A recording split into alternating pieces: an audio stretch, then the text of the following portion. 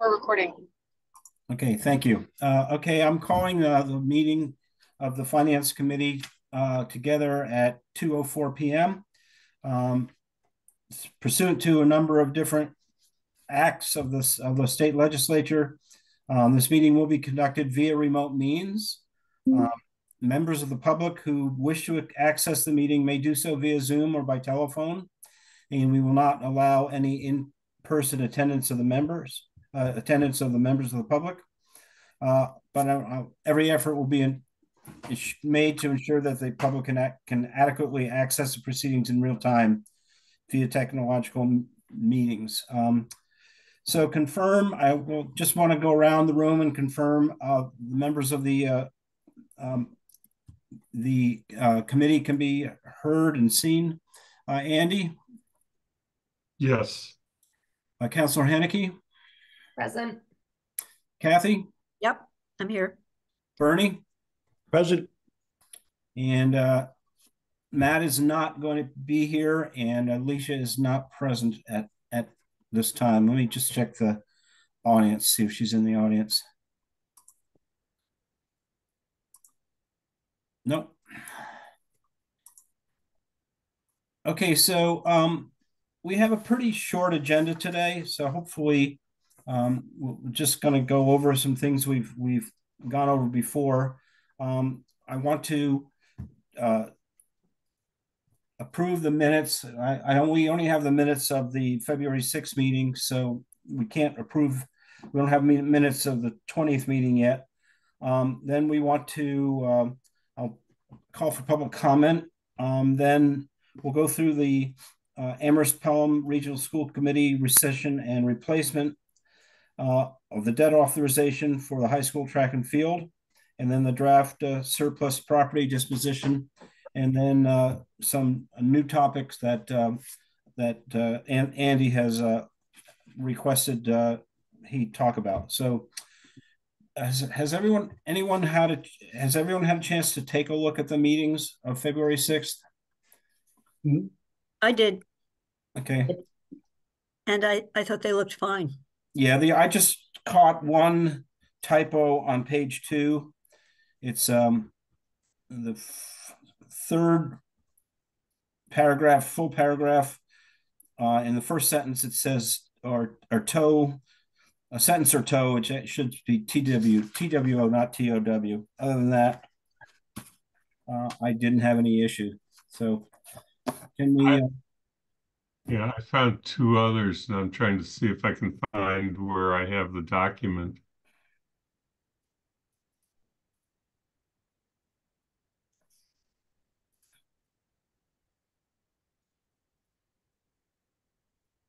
Uh, there were two other typographical type things. They weren't significant, uh, but there were enough that I at least noted them here. I, I have it now. Um, so I just to let you know what they are. Uh, one was the one that you had, the, the toad. Um, then see if I can, oops, I'm having problems with my computer. That's why it's uh, so slow to do what should be very quick. Oh, and the um, under item number four, the draft surplus property disposition policy, third paragraph, the sentence uh, with, that goes in part, Shain suggests that a committee review to review the building oh. and land. Right. So should just be to knock out the to review. So it reads that a committee review the. So that was uh, one of the two and um, see if I can find if there was a third.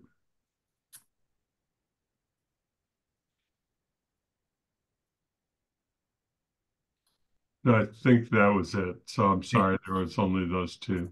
Okay. So um, is there a motion to approve those with the uh, corrections, the typographic corrections? So moved, Shain. Okay. Second, Hanneke. Okay, uh, let's uh, go around. I'm just going to go by what the screen says. Uh, Andy? Yes. Uh, I'm a yes. Uh, Counselor Hanneke, Aye. Kathy, Yes, Bernie. Uh, concur. All right. So we're we've approved those meetings notes. Uh, Athena, do you want me to uh, meet with you, or have you did you catch those corrections? I can make those changes. Thank you.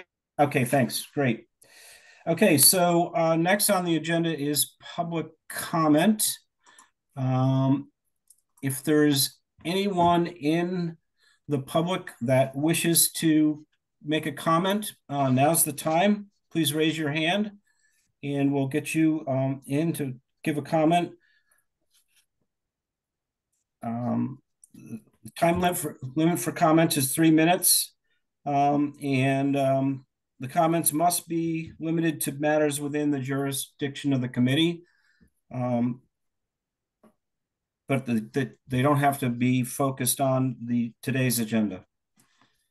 Um, I don't see anyone, any hands raised, so I think we can close public comments.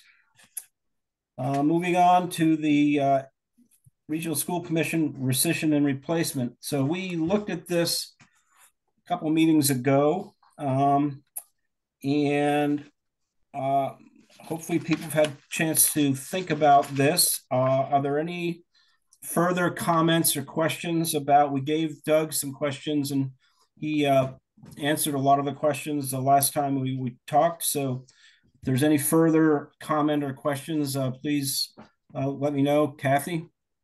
Uh, yeah, I just wanted to uh, indicate um, that I would like to make a motion that we have the council approve this. So I know we had three options, one which was just let it sit for a while, and there's a pocket approval. Um, there's a turn it down or make, I think it would be good to take a positive action. I, I like the way it's worded, and I know uh, Mandi, Council Hanneke raised concerns. It's worded with a lot of flexibility, but it makes it clear that the 1.5 at a minimum is going to do the track. And I, I, I think we need to allow that flexibility because the looking at the price est, cost estimates from three or four years ago, which haven't been updated today. So even if we did simple 4% a year, we're going to be lucky. We're going to be squeaked by if we get the extra council money the from free cash and the CPA money. We're going to be lucky to be able to do an enlarged track with a field with or without rotation. The rotation was interesting um, in the original cost estimates because I had thought that that added a lot, but it only, once you've gone to a five lane track and put an enlarged field in it, which was 1B, the difference between that and two was only a couple, I shouldn't say only a couple hundred thousand, but it wasn't another million, you know, so so it was in it we're in the ballpark with the Amherst two supplementals and if a few other towns also do their CPA uh, doing more than just a track. But I think it's important to have this on the table to allow at least the track to proceed if when it comes to November we're uh, waving our hands because I think we otherwise delayed this too much. So, so that was my comment on it. I mean, I don't have anything specific more. I did think that in our report, um, we can talk about this secondly, that the wording that the school will have to go back to CPA to go broader than option three because of their it wasn't the way the financial order was written, but the the the paragraph that preceded it that anchored it in three. Um, and that was protective when CPA voted on it. They didn't want their money to go just to the track, so they had to anchor in in in, in a larger project. And the one that was being proposed was three. When the council voted the extra money out of the free cash allocation, we did option two or three, where it's possible we might end up doing 1B. So if 2, 3 is flexible enough to allow us to go down to 1B, if not, we're going to have to have the school ask us to change that. But I'm my understanding from Doug is we didn't need to do that now. Um, that they you know, when we're further along. So if they come back to us with option two, it's worded perfectly all right. Um, so, so that was my first thought was to positively report this out with a recommended approve. And the second was to talk about these two other pieces and I'll stop. Kathy, is that a motion to recommend the council approve the debt authorization? Uh, yes, so I didn't, um, Athena, I didn't know whether we want, that is my motion. So what I didn't know whether we first wanted to have a discussion and then a motion, I'm glad to put, I'm happy to put the motion on the table. So I would, I would, I'll make a motion that we recommend to the council that we approve, um, the proposed, uh, what do we call it? Rescission and replacement Right. as, as presented to us. Um, that's my motion. And I'll second that motion so we can have it for discussion after we've uh, finished the questions we have. Okay, uh, Counselor Hanneke? Yeah, I, I have a clarification question for the superintendent, um, acting superintendent. Um, and then obviously I'm gonna have some comments on the motion, but I'd like to get my questions clarified first. Um. Uh, there was a chart provided last meeting regarding the fu- funding already quote authorized or pledged. And then there was an asterisk to that chart that said an additional 240, 620,000 in CPA funds may be available from Pelham, Shutesbury, and Leverett, but only for grass options. And we were asking for a lot of clarification as to timing of needing in the financial order essentially all of the funding and the timing of the intended contracting and all. And I just want to clarify a couple of things. It was my understanding last meeting that the superintendent indicated that the contracts wanted to be out for bid by like no December or January, December 2024, January 2025, and then signed.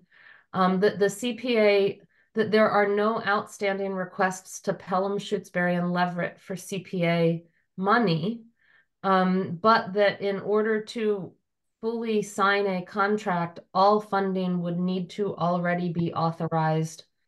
Um, therefore, it's my understanding that this potential 240,620 dollars that is in this document that said, well, it might be there is actually not at all available for this project based on the time frame that the superintendent gave us last week because the contracts for bids and projects and the decision to go forward knowing that there's money available would have to be done before any application to CPA next spring to those towns could be made.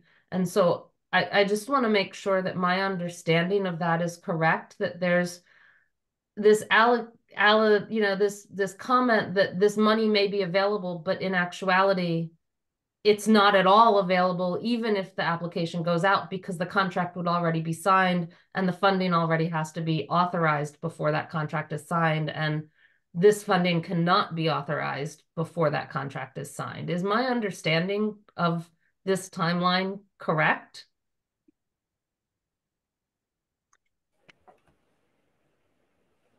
Sorry. Ed, uh, Is it fine if I answer that? Um, simple answer is yes. The more complicated answer is if if the four communities might consider an off-cycle appropriation, which would require them to call a town meeting for the fall. But you know, barring that, which is a pretty big ask for one CPA item, um, you're correct. Thank you for that clarification. Kathy? Um, Doug, I just, I was gonna actually say the same thing that you just said, that it's possible they could act. And the only way it would be impossible for them to act is if they've already voted to allocate hundred percent of the money they have for the fiscal year. Um, so that was, it's just an additional question on Mandi's. Um, they may or may not have done that depending on the cycle of their town meeting. They may have a package coming that could still be amended. So my second part question on the CPAs that aren't Amherst. Um, if, so we're, we're talking about FY. You know, we, the Amherst approval was an open-ended to end at some point if the schools don't use the money. You know, it wasn't uh, used by the state or forever hold your peace. Um, but if the contract is going out and they're in the next year cycle, the three towns, and their intention, if they met early in the fall, talking about FY, the next FY, the construction, there's the design phase and then the construction phase. Would they be too late to put the money in? What is is just it's a timing question. So Mandi's was if they don't act in the spring or summer of this year, but mine is if they act when the next round of CPA is right away, um, knowing that, um, you know, and, and I'm thinking, I know my framework is an elementary school building project, which is not the same as what we have here, but certain parts of it aren't all happening at the same time you know, some money coming in and including the way we bond finance it, we don't necessarily, we do, can do an initial package and then a bigger package. So it's just, is that feasible or is, if two, is two forty, if not acted on the spring or summer, not real? So we, should we just delete it as a possible source? You, and it's we, meaning the town, but also the regional school committee? Yeah, I think it's, it's a, it's a difficult, um, I think it's it's a, an extraordinarily difficult uh, likelihood that that would be available. I think the only way it could would be if we did some sort of stage construction where we had a second piece that was dependent upon CPA funding. But I think that that's going to be hard to figure at this point. You know, if, if and and you know, I don't know what we'd have that would be eligible. So the other thing I think about is, oh, well, maybe we do bleachers as a second phase, and we'll ask the towns for that chunk to do bleachers at but I don't know if that's an eligible expense for CPA for one thing. I doubt if it is. Um, so I think it's it's it's best to consider that 240 not available. Um, you know, and obviously if if if uh, there's a you know an, an energy or a um, uh, activity in the in those three towns to take up CPA off cycle, say at a fall town meeting, then then it becomes more possible. But but I think we're going to have some de- decision points around uh, direction to our our designers that are going to dictate us making decisions without that money available. Okay, that an- that answers it. Thank you. Councilor Hanneke? So I don't have any other questions. I'm gonna put out my initial thoughts on the motion that's on the floor, which is that I will oppose it. Um, and that's with a heavy heart because I really do believe that our schools need a new rotated track that is eight lanes large. But I, at this point, do not believe I can recommend the council pass a borrowing when we don't have updated cost figures to even know that that borrowing would cover a non-rotated, non-expanded track. I don't believe we should recommend approving a borrowing when there are too many options on the table um, that have funding plans that are unrealistic, given that we've been told that 240 won't be there, but the school committee thinks it will be, and all of that. I don't you know, I, I don't believe we should recommend a borrowing when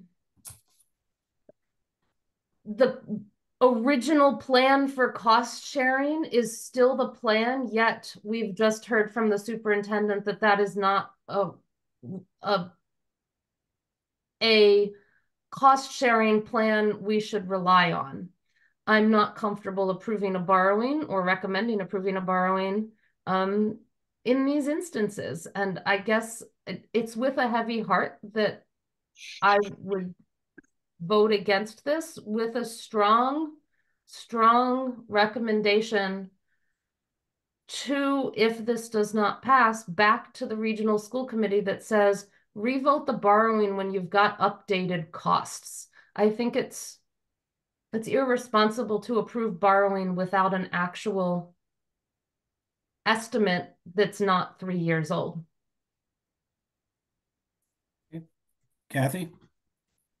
Um, uh, it- given what Mandi just said, I'm going to come back stronger. Um, uh, I was at the town council meeting when the 1.5 first came to us, and Councillor Hanneke only wanted um, option three and didn't want to vote just the 1.5 because we might just get a track.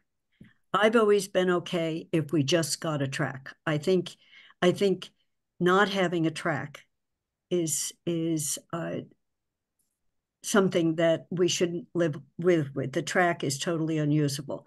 So from what I can see, is the track is feasible. Um, and yes, we don't have a cost estimate. We didn't really have a cost estimate last time, but but the track number looked looked feasible. So I don't want to take this off the books um, for a whole bunch of reasons. It's on the books in the town with the regional capital allocation out of JCPC coming, and it's on the book for the schools. If we remove it, it may quickly be replaced with other capital needs, and then the chance of the track goes out the window. So I think it's important that that we move this forward. And so I I'm not just a yes, but I'm a strong yes recommending moving it forward. Um, last time we almost had some no's because people wanted to challenge the it was only linked to option three and wanted to have the flexibility of grass. Um, and so there were some potential no's, and people said, but we need the track. And so even the no's went for the old wording. Um, but this time, we don't have to make that decision right now, which is great. So I, I think the wording, because it's flexible um, and um, without this authorization, Doug's going to have a hard time getting a getting somebody to come up with cost estimates for us. So it is this, it's sitting with, there's some earnest money behind all of this that we want to do this. Um, that he's got, he's using, I believe you're using that early allocation of C, CPAC money from the town to get a new design for us, right, Doug? So um, and there are a few bells and whistles. They're not big bells and whistles, uh, like lights. Um, I don't want to give up on irrigation, so there might be some things that um, uh, that can be taken out and still given us give us a really good track. So I just I I don't want to do no. So I'm a strong yes, and I will stop talking. Andy, I'll add one additional piece and then yeah, I want to move on to other people. The additional piece is that um, we have to also understand that the other three members of the region are towns that uh, have um, town meetings is the only time that they can react to borrowing requests and uh, that uh, well there's always the option that a select board can call a special town meeting.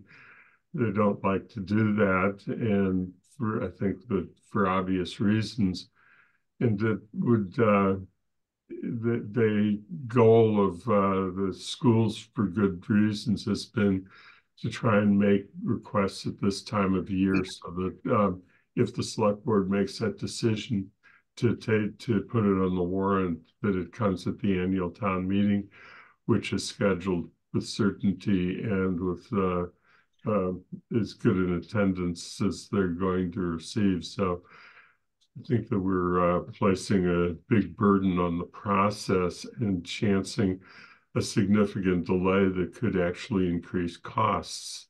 Um, and uh, just urge that everybody consider that as one factor as we go forward. Ernie? Yeah, um, I'd just like to make the point that there there's no good reason why the other three communities can't pull appropriations from CPA and get them through town meeting.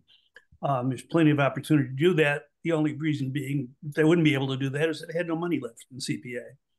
But we we know that we're all independent, um, free thinking, freestanding, free people people's republics here in uh, 351 of them in Massachusetts, and God forbid that we should like pull together and fix things. Um, that would be really unusual. Uh, like uh, Councilor Hanneke, I would uh, appreciate having uh, precise, more precise plans and estimates, but that ain't going to happen uh, for a variety of reasons. Um, I think it's unfortunate that um, once again we have a uh, with the school committee we the prospect of of uh, the the the good being overcome by the perfect. Um, we had a plan, we had funding, we could have been started, uh, but no. Uh, I want to joke that uh, if we can't play on artificial turf, we should play only under uh, natural light and rainfall to water the thing. Um, all my sarcasm aside, I'm gonna I'm gonna concur and in, I'm gonna support this. I think that uh, the superintendent needs uh, needs to be able to move forward.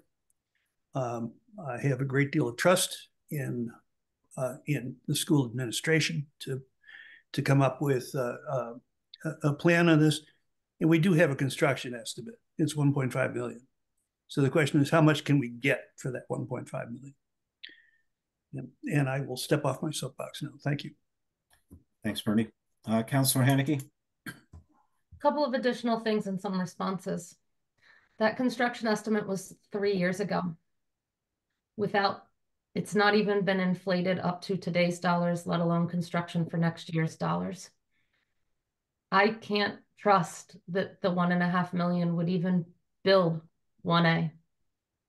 Um, and that's part of my concern for author authorizing one and a half million is because it's not even we don't even have numbers that it would be enough for 1A. And and Kathy is correct. I don't want 1A. And one of the reasons I don't want 1A is this town, Amherst, paid for a downtown fields master plan plan.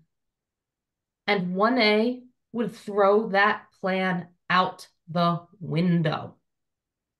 And I think it's irresponsible of us to pay for a plan, support a plan. We've got CPA money in front of us right now that would execute, that is asking to execute a portion of that plan. And yet here we are saying we might recommend a project that would throw that plan out the window. I don't think that's responsible. Um, and as far as Andy's point on town meetings, this regional school committee voted this borrowing that needs acted upon in 60 days in January when there were no town meetings scheduled. And there are none scheduled right now. And so they are the ones that took it out of cycle, not us. And if we send a strong statement to the regional school committee by not recommending this and saying, put this back on cycle. They have until March 18th or 20th or whenever it is um, to revote another borrowing authorization that would put it on cycle so that all of the town meetings could weigh in on it without calling a special town meeting. Yet the regional school committee chose not to do that, to basically say, we want this pocket approved. And I don't think that's the right way to operate. And we could send, and if we delayed this and not recommended it now, and told the regional school committee to bring another one back within the typical cycle, like immediately, we would have those updated numbers to know if one and a half million is there. The superintendent two weeks ago told us they'd have it in about two to three months. That would likely be within the 60 days if they voted a new authorization to send back to us with a 60 day timeline. Then we might have more information. I'm just extremely uncomfortable approving a borrowing when we have so little authorization. I feel like we would never recommend this if the town manager came to us and said, I want $2 million, but I'm not going to give you updated cost estimates. I'm not going to inflate those estimates. And I'm not going to tell you which of three different plans you're going to get. You just give me the money and then I'll do it all three months from now. I don't think we'd ever recommend that. And I'm not sure why we wouldn't hold the school committee to the same standard. Thank you. Kathy? Um, you know, we're such a small group. I hate to call a question, but I think we may be ready to a vote. But Bob, you're the only one who hasn't weighed in on this. So um, I, I here we have one strong no, and we can write, write the reasons why. And I've already indicated my reasons yes. I, I have to I have to say that you know going back to when this first came up when I was on the finance committee, um, I was very skeptical because for the same reasons that that Councillor Hanneke said. I mean, we don't really have the funding in place to do maybe even the simplest um, replacement of the current uh, track. Um, and yet we've got this grand, you know, grand plan to fix everything and change everything and no funding for it. Um, and I was concerned that we would be in this position um, when we first when we first discussed this that we would find out that we you know we we we go down a path and then we we want you know option three but we can only afford option 1a uh, so what do we do? Well i don't know. Um, so uh, on the other hand I, I do hear what kathy and andy said in that if we don't do this we could you know this 1.5 million that's already there could go away. Um, it could get put somewhere else. Uh, so we have that risk as well. Um, so i I'm, I'm torn to be honest with you. Um, I, I'm, I'm not sure what the right way to go is on this to be honest with you. Um, any other thoughts well, my suggestion would be to vote on the motion and and in the report, make sure we capture the concerns, however the vote turns out. Um, mm -hmm. we don't we we don't have to vote a majority. We can we can be split. Um, so, you know, so that that's my view. Um, you know, and uh, I see Andy's up. So I was just seeing whether we could move to a vote. Yep. You're up, Andy. Andy? Yeah, I mean, we're going to have to get to a vote at some point, but uh, I just want to acknowledge that uh, uh, Mandi's uh, correct that if something came back um, in March or even very beginning of April from the school committee, it would at least uh, reach um, each uh, select board prior to its establishing a final warrant for its town meeting. Uh, so that there could still be done at an annual town meeting.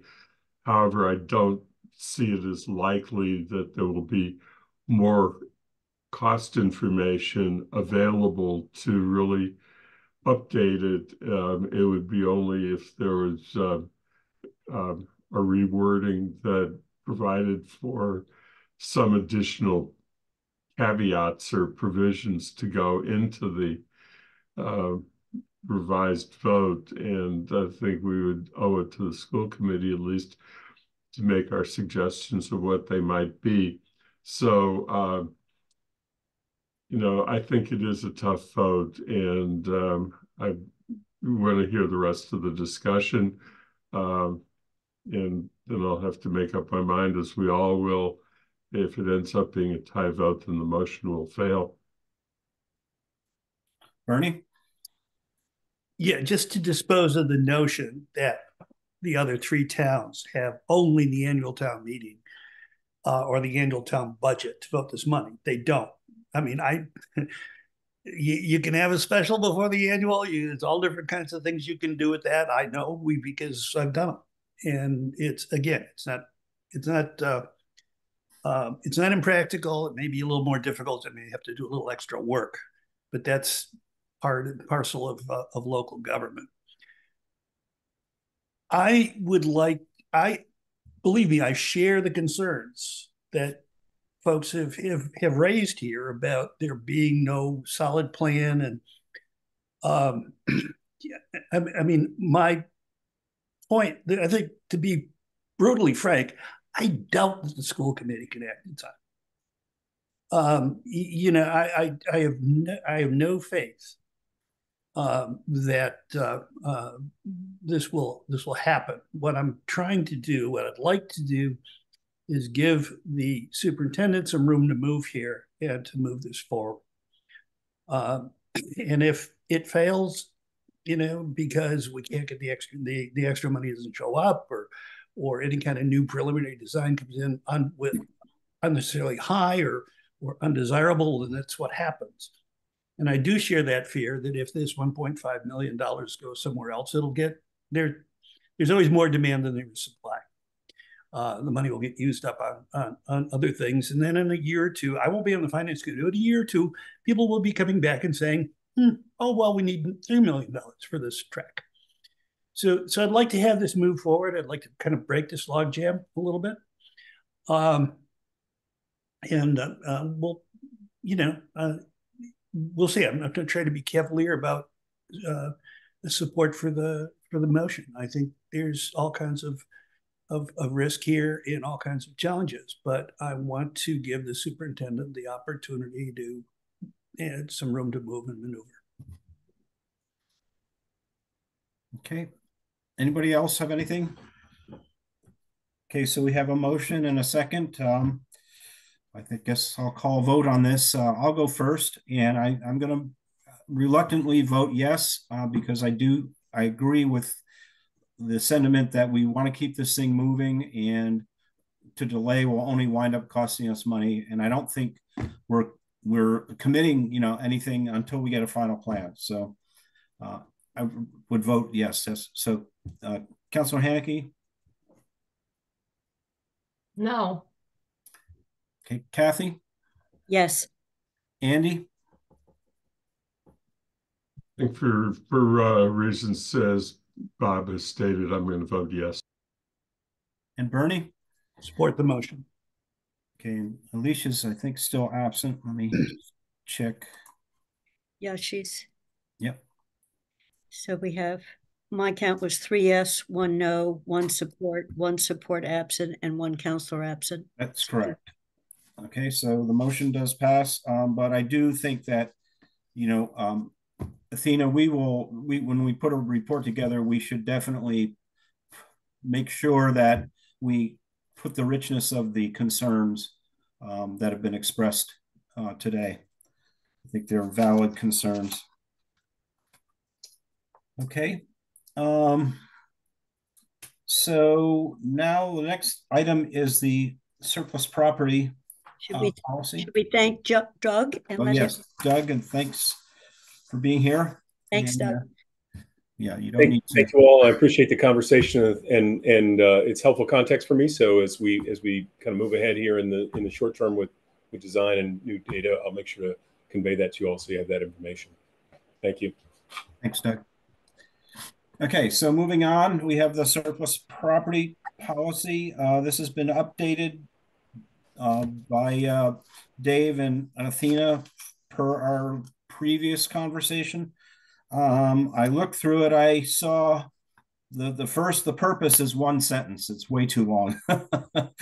so I think we should put a a comment in there in the middle of the last uh, set, the last line there. It says must be served by di- disposition of the property, comma, and to provide an opportunity for public input regarding disposition results because it's one big long sentence. Um, um, so that that was the sort of the typo things I looked at uh, and I saw. Does anyone have any comments or discussion on the final policy or on the draft? Kathy? Um, I agree with you, Bob. I also, I don't like, it's a four-line sentence. I, it's, and it do, does have two thoughts in it. So to break it into the two thoughts, there, that there's a, there's a outline and there's an opportunity. Um, I thought this was generally very responsive to our discussion. Um, and my question, and this is, it's not a question that requires a change in the way this is written, is number six um, on little tiny pieces of a piece of land, one small old house, if we have one of those, um, seems like a pretty doable thing. The um, the analysis of alternative uses for the property, including public benefits and drawbacks, development potential, environmental impact, and financial impact for each alternative, seems to me to be a fairly major task if we're talking about a major piece of property. So during our discussion, um, and when reading the minutes, I wanted to make sure we had had this. It was behind the scenes if a big piece of property um, was being considered. There needs to be a lot of work to come to that conclusion. And there might need to be a committee set up with counselors, with with other people on it to to think that through. Otherwise, we sit and we hold a piece of property for a really, really long time because no one has time to think through the pieces. So that that's sort of the intention of this. Otherwise, I understand it is to get to the point where we declare it surplus. And I'm just saying that packed into six is a lot of work, um, um, which is not a bad thing. I just want to be assured by the town manager or something that we would put in that work. Um, and my last time through, I actually prepared a memo and I'd like it to go in the finance committee records, Athena, since I spoke to it that gave hot links to what another town had done. Not to say we should do the same thing, but just to think about what what a process might be like. So I I had provided that, um, and I can redo it to be less critical of the memo itself and more talking about this. So that it, that was the only thing I am. I am, and Alyssa just wrote that she's not going to be able to make it today. So she's not tardy. She's absent. Um, so that's that's my only comment. I thought um, I thought this was very responsive, um, and uh, for as I said, for small pieces it works well. Um, for larger pieces, to me, it doesn't work as well because there should be a lot of work. Bernie. I, I think the uh, I think the policy is is well done. Um, it can go the way it is. Um, I, I'm no longer an ICMA member, but when I was, I would get all kinds of stuff from communities across the country who were doing some pretty innovative um, uh, aspects of, of, public property reuse and, and public uh, public private uh, planning and the like that sort of makes Easthampton stuff look pale. Um, so, uh, you know, I think what happens here is um, in paragraph six is this really falls to the administrator or to the manager and his staff, uh, in this case, uh, to uh, you know to, to go into to the council and say, yeah, we're we're going to look at reuse of wildwood, and uh, to do that, we want to bring in these experts and these planners and these people beyond what we have here now. So I, you know, I think it covers a lot of bases, um, and and I don't see the need to have any major further discussion about the policy. I think we should just vote it up and put it in place. Athena, did you have a comment? Yeah, I hope you can hear me okay. It's raining. Um, the I, I spoke with the town manager and about this. I don't know if Paul's listening very hard right now, but um, if, that if if the if there were to be a larger property that came into the town's control, that it would be highly likely that the town um, manager would convene a reuse committee to look at all of those concerns that you raised, Kathy, before just sending it on to council for a surplus. So I think that's that would be the intention. It's just not written into this policy since it's oh Dave has I'll let him speak to that. Okay. Dave?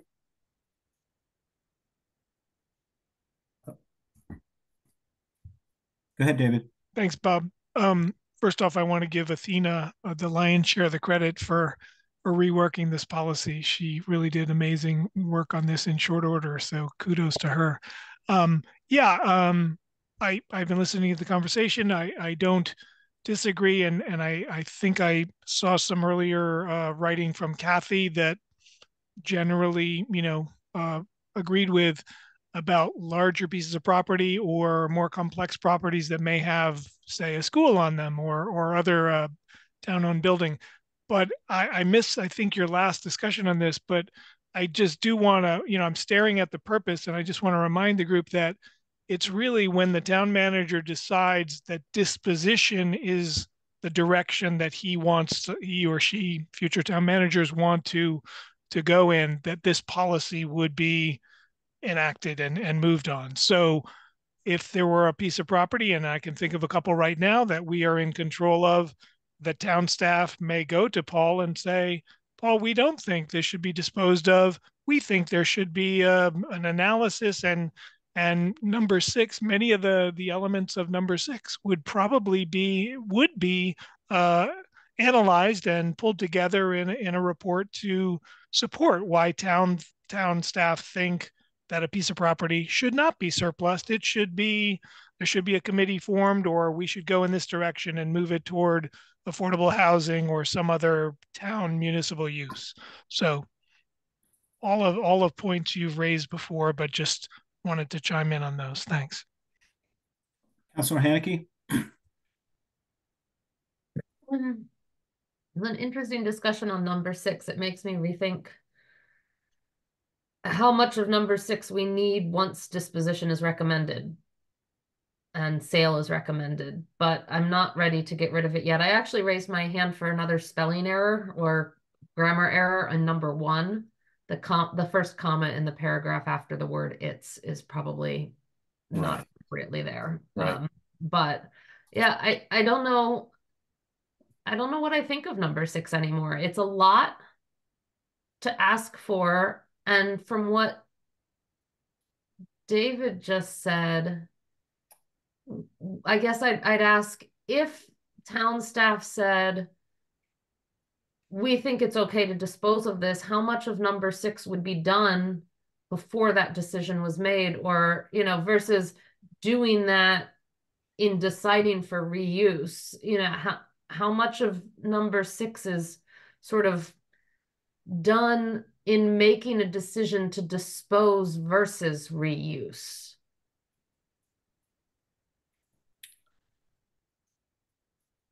You, Kathy? Um, Mandi, I think that's right, but I'm comfortable with it. You know, in other words, as what Dave said, if it's actually just, you know, dispose, it's an interesting word. Um, you know, in hospitals, people said maybe instead of discharge, we should call it a transition because discharge implies bye, bye. and in fact, you need follow up care. So we're not really disposing of properties necessarily when it comes to bigger ones. We've, we're we're re, we're thinking the town doesn't have a use for it as it sits, but maybe we have a mixed use for it and it should be privately owned or something else. Um, but that would be when it's surplus. Um, if we decided to keep a really long-term lease and just get someone to build on our land, I guess the answer is then we don't ever declare it surplus. Um, but apparently some of the housing that we've built on town land can be taxed. You know, so part of mine is that, you know, I'm I'm comfortable that for a larger property, if it actually was being proposed for disposal, there should have been a fair amount of analysis done before reaching that decision. Um, and you might, in fact, on number 10, the recommended action, um, well, the 10, 9 and 10 were out of that analysis some restrictions that might be placed on the property. You know, we we want to keep some piece of it, or we want X, Y, or Z, and a recommended minimum to be paid for it. That's part of six. Um, you know what restrictions you would put on it. So I think this is quite well done. Um, and I just Bob, again, it's our report, and I can write a paragraph if you need for the report. Mm-hmm. I just want to capture that behind the scenes, you know, what town manager just attested to, we capture that in our report to the full council. You know, that in event it was a large property, highly likely that the town manager would convene a reuse committee, you know, just to get that wording in. Because Dave, the concern is that the staff make all the decisions and suddenly the property is housing or the property is name something else. Um, you know, or we sit on way back when when we bought Hickory Ridge. I understand why we've sat on the developable land there because we keep talking about potential alternative uses of it and we've never gravitated, but we we just sit on it. Um, so we're not disposing it. So I'm I'm ready to vote on this out, but I just want the report to reflect that on larger properties, uh, some uh, there's a lot of work behind the scenes um, and that would help inform the public and that the public could be part of that you know with when you say form a committee. So so i'm i thank you for volunteering that wording athena. And i see paul's picture is here but it's the town manager would highly, be highly likely. So i'd like that wording to be in. So thank you. Okay bernie? Yeah this is all a package and this will get assembled um, and brought to the council. So I would think if there is a large or significant piece of property that with this proposal coming to the council where the manager has not um, provided an adequate analysis of uh, an adequate input, um, that the manager would find this being handed back to him or her with instructions to do a better job. So I'm not sure that we need to add anything anywhere. Um, it's you know it's it's it, you know a misplaced comma here and there, and I understand misplaced commas can be important. Um, but I'm neither an attorney nor a grammarian. Um, so uh, uh, I would just like to move forward with this without further ado. And Bernie, just so you know, I wasn't proposing adding the sentence to this. I was just saying in our report, capturing some of this discussion, but I'm fine with it as worded with the typos fixed and the long sentence broken up into two. David? Yeah, thanks, Bob. Um, I'm I'm just from a staff standpoint, and a lot of this I think would fall to myself and my staff. I'm I'm very comfortable with number six being in there. I think it's. I agree with Kathy. I agree with with other comments today that I, I think it would be important to have that in there, and and it really supports nine and ten in the in the overall policy. So I don't think it's onerous to do that work. Um, I did, Kathy. I just wanted to maybe push back a little bit to say um, I certainly would not characterize the town or town staff um, kind of sitting on on Hickory Ridge. To me, that's a little bit of a mischaracterization there. Um, we certainly are very active on Hickory Ridge. I think I'm giving a presentation to the council in two or three meetings on that, but um, we haven't owned it for very long, and there's a lot of moving parts down there. And and we are looking at it still uh, in relation to uh, whether we need it for a South Amherst fire station or affordable housing or other municipal uses. So I just wanted to be a little careful with our characterization there. But we have many other properties. I mean, including the the former South Amherst School. Um, uh, down on the on the common uh, and some other other properties that um, you know we'll be looking at that that likely would would serve a municipal function um, in in one category or another. So thanks. I, I like the policy. Andy? I think it's time for a motion, and I move that the Finance Committee recommend to the Town Council adoption of the Town Council surplus real property disposition policy as presented. Is there a second? Good. Um, Shain second. As amended? Yeah, I would, I would just say with the, the typos amended. Yeah. As, as, as amended, uh, after the Finance Committee meeting of March fifth, twenty twenty-four. Okay, so uh, there's a motion uh, and has been seconded. Uh, well, so let's vote. Uh, Kathy, start with Yes. you. Yes. Bernie, Concur. Andy, Yes, uh, this I'll vote yes. Uh, Councilor Hanneke. I, Okay, so the vote is four uh, yes, one support, one uh, member absent and one uh, resident member absent. Um, so I think uh, that takes us through everything except topics not reasonably anticipated. And Andy, uh, you you did um, request to talk about uh, Excuse me, but I'd like to be but recognized. Ernie, go ahead. Yeah, just real quick. I uh, uh, I don't know how many people saw the article that appeared a couple of weeks ago in the New York Times on rewilded golf courses. I sent a link over to David. Um, when you read through that and you look at all the work that's gone on in Hickory Ridge, there's really been a remarkable amount of work done on Hickory Hickory Ridge. Yeah, I And, uh, didn't- I think we no no I I just want to because my thing has always been the town staff don't get enough uh, prompts or, or enough uh, uh, points for the work that they do. And so it's not just David, it's, it's the people who work for him and the people who work with him. Uh, I think are doing some really, really good stuff. And um, the problem is it, it doesn't show up right away. so, um, uh, you, you know, but there's a lot, and I know from my involvement with the Fort River group that there's just been a huge amount of work done and, and, you know, great stuff being laid. So just to acknowledge that um, for those folks watching at home, yeah, stuff is happening.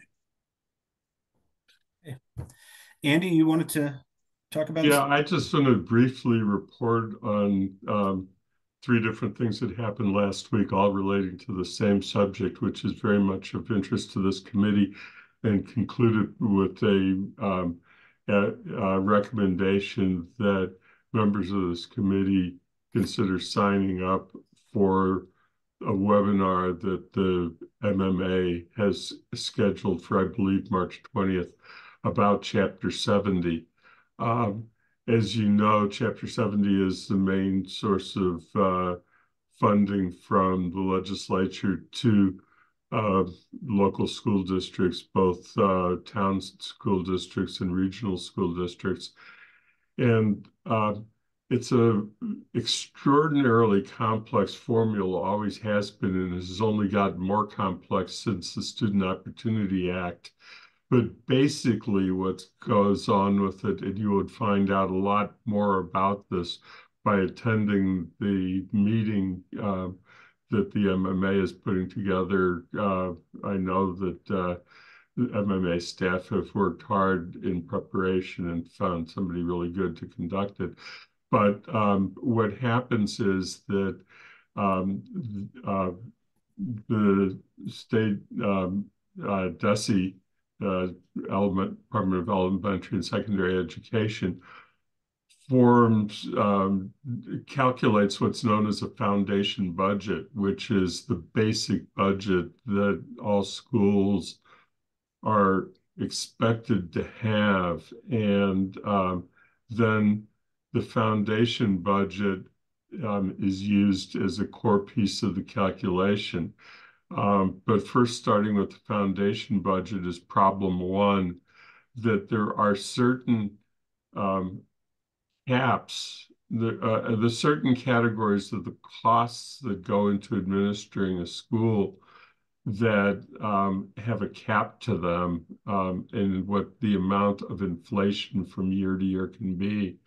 And uh, that in years when there's extraordinary inflation, as there was a couple of years ago, um, the uh, uh, inflation actually exceeds the inflation cap. So instead of using actual inflation, it uses the cap. And uh, the uh, there had been previously a provision that has been eliminated that allowed DESE to essentially do catch up with uh, those inflation costs um, in subsequent years. And uh, this was pointed out at the um, House Ways and Means hearing. Then what happens is that um, there is a calculate, uh, each community makes its decision on what its school budget is. And of course, most municipalities, if they can, will provide um, assistance that is above the foundation budget, that there's nothing that says that a community can't do that. but where the foundation budget plays in, that there's an assumption made that 82.5% of the um, foundation budget is assumed to be the local district's responsibility, the local community or the regional district, and that the uh, amount of the uh, calculation of chapter 70 is then 12.5% because is the amount that's uh, um, above that 87.5%. And uh, then there's a third factor that has come into play since the Student Opportunity Act, uh, which is the, um, that um, because of trying to uh, fund the schools with the largest uh, gaps, that um, other other districts um, have that have, have a have a limit of thirty dollars per student, which is particularly onerous on districts with falling enrollments, uh, but is really inadequate to fund all districts. So you've got that additional factor that comes into play because of the Student Opportunity Act and the number of districts that come in that are rated as minimum aid communities has actually been increasing, not decreasing. So you get all of these complicated factors running together. Um, the discussion that has been taking place a little bit with uh, various uh, uh, people who are, I would term, um, our friends in the legislature who are thinking about this from the Western Massachusetts perspective, and where falling enrollment is a larger factor. And we discussed at the last uh, MMA Financial Policy Committee meeting and was discussed at the breakfast um, that was held uh, in Greenfield last week was that um, the best resolution to um, solving at least that last portion of the problem is to um, work on adjusting the um, differential, the cap that is placed, or, or, the the target figure, I guess it really is, that is um, the amount of the foundation budget that is the local town's responsibility, and that that is what needs to be reexamined. And I'm working on that within the Financial Policy Committee. Um, but um, I think that uh, we should, um, at least as a finance committee, try and get as much of an understanding of this as possible, and uh, that uh, we should uh, consider at some point whether the council wants to suggest that we take a formal position um, on on change. Uh, I wouldn't recommend doing that now uh, it's not going to be able to be implemented for um, the FY25 budget. I think it's running too far down the line already to make a difference, but it, it is something that we should be considering so that by the time they um, we're a year from now, that there be a pretty strongly stated policy, which is what I'm hoping that I can get the MMA to consider. So I uh, I wanted to just report that to you a little bit to give you a flavor of what the issues are, both for the those of you who are planning to go uh, on Friday of this week to the legislative breakfast and might want to uh, see what you pick up there and to encourage you to attend the MMA uh, webinar uh, on March 20th, which I think Lynn has has reminded everybody about. Uh, so that that's what my thoughts are on it. I don't know if Paul has anything else to to add on the subject or not, but anyway, that's my report. Thank you, Andy. Anyone else? Kathy? I have an unrelated comment since Andy brought this up, and it's just uh, to uh, suggest um, I'm willing to work on this. Uh, when we, one of the things that undermines our schools um, in terms of their budget is the way the charter formula is set for the schools. And last year we got a summary and it's a net outflow of over $3.3 million. So we're not talking about small amounts of money. So a change, in, and that's for 167 students in the two school systems, elementary and uh, regional.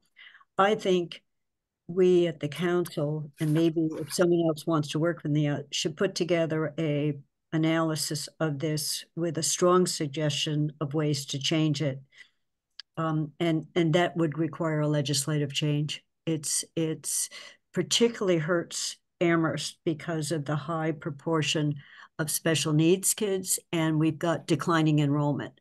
You know, so that we, when we lose a kid, we don't lose twenty three thousand dollars worth of expenses, but we send that out. And I, when we send a child to another public school, if someone goes to Belchertown or Pell, we send five thousand dollars. So the contrast is pretty stark. So I just think something short, and I'm willing to take a lead on it. There's a person from another town. Um, and I know this isn't a this year change, but it would make an enormous difference. And it's been something behind the scenes that's been an eroding factor for quite some time. So it, that's a comment rather than a what to do about it. Andy? Yeah, I thank you, Kathy, for uh, bringing up the charter school formula. Uh, uh, we should talk about it again. I don't know if Leverett was the town you're referring to. Um, but I think I know who we're talking about. Uh, but I just I'm willing to put in some extra time on it. It's not it should it would normally come from the schools, but I don't think there's the bandwidth over there to, to do this. And I've identified where all the information is, so I was just going to try to take a stab at it, mm. and then whether it comes through finance or just goes directly to the council as something we want to be on record for was my where I thought this could go, not just an op-ed piece somewhere. Yeah, let me know because uh, if there's anything that I should add to the uh, financial policy committee discussion at the MMA about it, because uh, I try and use the opportunity to flag issues that the committee should consider. Thanks. Yeah, the the other piece of this that I I believe is true is that charter schools do not take special needs students uh, as in the same percentage that the public schools do. Mm-hmm. So that's another part that enters into it, I think. Right, and it's you know, and then that's the thing that's hard to tease out of the numbers because they may have a child, but they don't have the wheelchair bound or other things wrong with them, you know, be, because they, um, there's a program that they're running and they don't have the staff to support those children. Um, so it's it's it's a double whammy because we our number is high because of the mix. They're not it's not adjusted for the mix. Um, you know, it used to be well, I won't say anymore.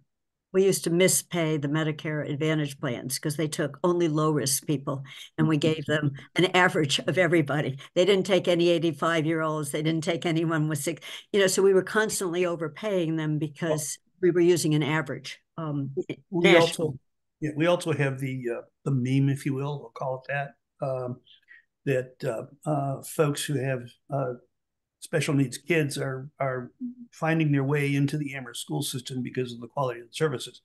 I don't know if that's true. Um, I worked for 28 years with with uh, folks with disabilities, cognitive disabilities, and I've seen all kinds of things happen in special ed programs and, and, and elsewhere. Uh, we do have about what 21% of our student body has IEPs, as opposed to about 19% statewide. So that translates into somewhere between a 10 and 15% difference, uh, which is significant. Uh, but the the uh, charter school issue um, has been and needs to be addressed because it's inherently unfair the way the money is taken out of the schools Uh, this is ostensibly to uh, get public schools to compete, and the charter schools were originally um, developed so that they could be models of learning that could then uh, the, the the new technologies and the new approaches could then be turned out uh, handed down to the public schools. That hasn't happened. It hasn't simply hasn't happened. Uh, it's just become a way to allow certain people of privilege to escape uh, uh, when they they they don't like or don't want to be part of the public education system. It's my humble opinion. Uh, so so focusing on on focusing on the charter school formula um, and the uh, uh, you know is, is certainly a, an important thing to do. And I thank you, Kathy, for for raising that. And Andy, thank you for bringing it, uh, reminding the MMA that they, uh, if, as if they needed to. Uh, that it's it's a, an important piece. Okay, anyone else? All right, well, thanks, everybody. Uh, 3:15, the uh, Finance Committee is adjourned. Thank you, Bob. Thank you.